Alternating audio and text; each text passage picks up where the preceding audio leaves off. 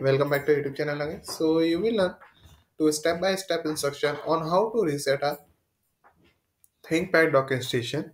So whether you are experiencing technical issue or simply need to refresh the setting, this tutorial will guide you through the process. Watch now and ensure your docking station is functioning properly. So let's start. So here are the first step you have to reset ThinkPad docking station. In step first, you have to disconnect all peripheral from docking station, and now you have to unplug your computer from the dock USB-C cable in step two.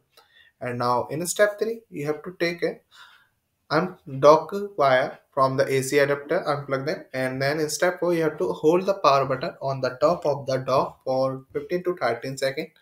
In step five, we have to plug the power AC back into the dock and now step 6 you have to wait for at least 10 15 to 30 seconds for the dock to boot before proceeding. In step 7 plug your computer back into the docking station by USB-C cable.